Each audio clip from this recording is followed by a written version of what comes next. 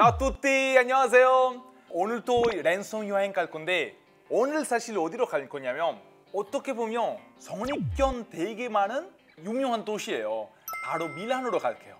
이 도시는 사실 너무나 아름다운 도시인데 경제 중심지다 보니까 제대로 관심 못 받고 있는 것 같아요. 근데 저도 여기 갈 때마다 어, 생각보다 너무 아름답네? 라고 생각하는 도시예요. 나는 좀 도시 좋아해, 예술 좋아해, 명품 좋아해 이런 분들한테 밀라노 진짜 최고예요. 제가 추천드리는 게 많이 걷는 게 좋아요. 충분히 여기 대중교통 잘돼 있어요. 지하철도 있고 버스도 있기 때문에 좀만 그거 다 붙이시면 다 보실 수 있어요. 일단 추천드리는 게 두오모부터 시작하세요.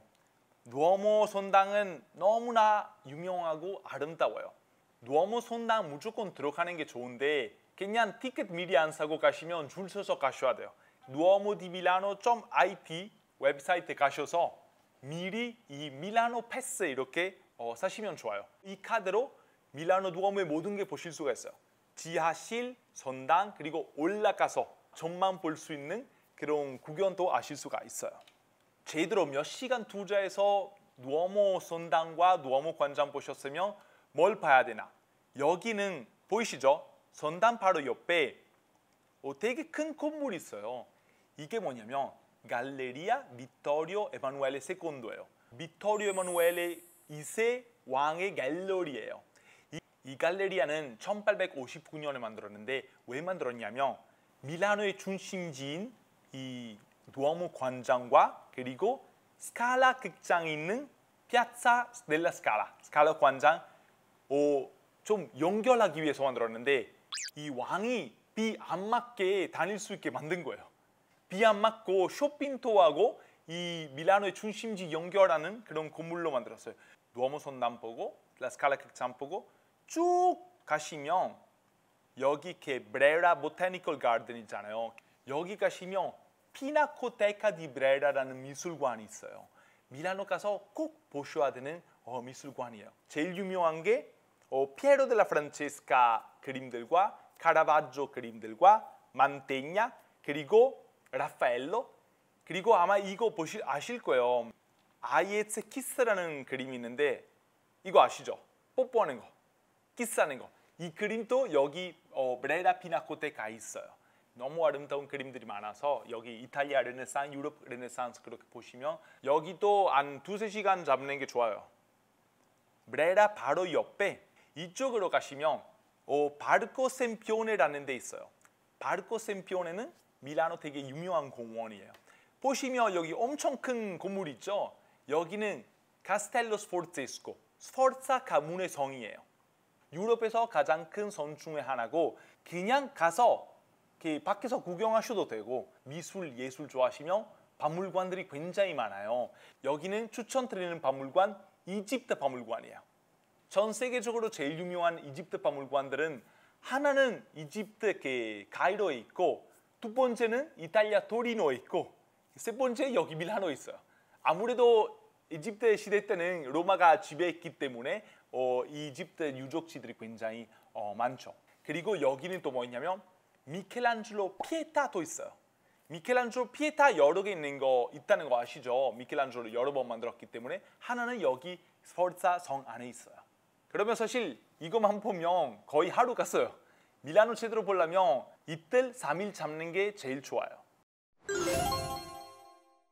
또 밀라노는 어, 패션의 도시죠. 패션 피플들 보려면 어디로 가야 되냐? 쇼핑하려면 어디로 가야 되냐? 바로 알려드릴게요. 과드릴라테로 델라 모다라는 데 있어요. 과드릴라테로는 사각형이요. 패션 사각형이라는 지역이 있어요. 왜 그러냐면 몬테나폴레오네 길이랑 델라 스피가 길이 있어요. 비아 몬타폴레, 비아 몬테나폴레오네 비아 델라 스피가 이 두 길 사이에 모든 패션 가게들이 다 모여 있어요. 여기는 명품들도 있지만 유럽 그리고 전 세계 최고 디자이너들의 그런 부티크 다 있어요. 딱 여기에요. 이 길이에요. 그냥 패션 구경하는 거예요. 여기 물론 슈퍼카가 많이 보이고 그리고 어, 전 세계 최고 브랜드들 다 있어요. 이거 뭐 크리스마스 이거. 크리스마스 때 뭐 카르티에 있고 프라다 당연히 있고 프라다 앞에 당연히 페라리가 있고 뭐, 뭐 람보르기니 있고. 어, 패션 부티크도 많지만 비싼 식당, 비싼 커피숍도 굉장히 많아요. 뭐 물론 돈이 많으시면 여기 가셔서 어, 쇼핑 즐기는 게 아마 최고이실 거고.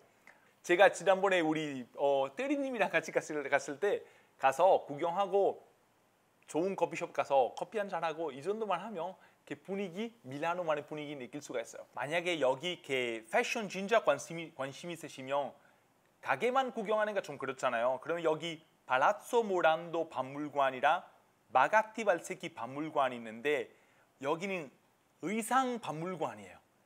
이렇게 모든 패션의 역사 볼 수 있는 박물관이고 그리고 말, 마가티 발세키 박물관은 장식품 박물관이에요.